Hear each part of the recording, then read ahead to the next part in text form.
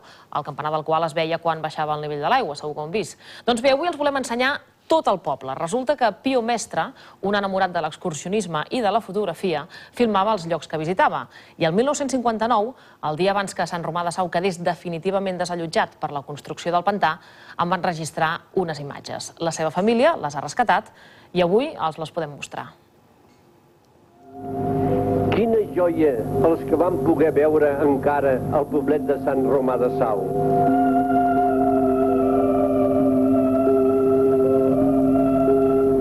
Entrem a Sant Romà de Sau.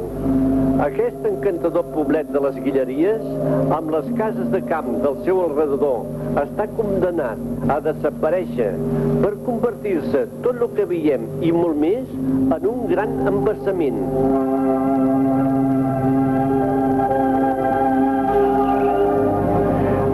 Pont romànic, que també quedarà engolit per l'embassament, travessa el riu Ter.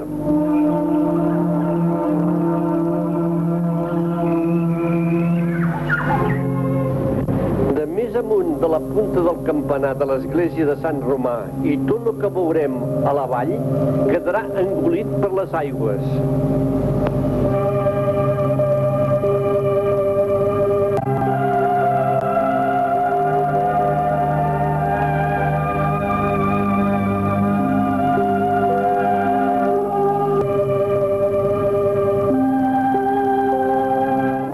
Es tracta de dir un adéu d'aquest lloc, ja que aviat només ens quedarà el record.